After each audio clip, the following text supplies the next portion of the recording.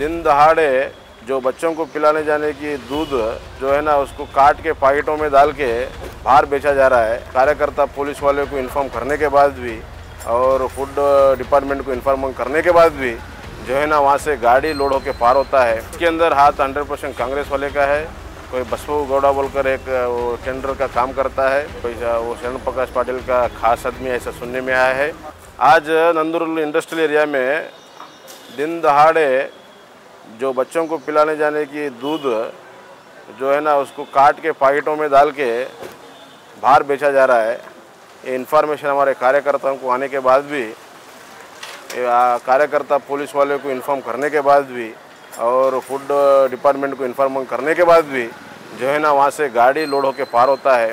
दिन दुवाला यहाँ पर इलीगल एक्टिविटीज़ चलता है। कौन इसके खिलाफ एक्शन नहीं ले रहा है। इसलिए पुलिस और फ़ूड डिपार्टमेंट को गुजारिश कर रहा हूँ कि जल्द से जल्द ये जो भी इलीगल एक्टिविटीज़ हो जा रहा है, इसको रोकिए वरना हम इसके खिलाफ हम कोर्ट को जाएँगे। इसके अंदर हाथ हंड्रेड परसेंट कांग्रेस वाले का है, कोई बसपू गौड़ा बोलकर एक वो टेंडर का काम करता है, कोई वो शरण प्रकाश पाटिल का खास आदमी ऐसा सुनने में आया है। माल कम से कम चालीस पचास क्विंटल पाउडर था और सौ से ज़्यादा क्विंटल चावल। अभी एफ़ नहीं कर रहे, हम वही गुजारिश कर रहे हैं पुलिस डिपार्टमेंट से और फ़ूड डिपार्टमेंट से, ये जल्द से जल्द इसका ऊपर कार्रवाई किया जाए, जल्द से जल्द एफ़ किया जाए। अगर नहीं किए तो हम जो है ना इसके खिलाफ कोर्ट को जाएँगे और होराटा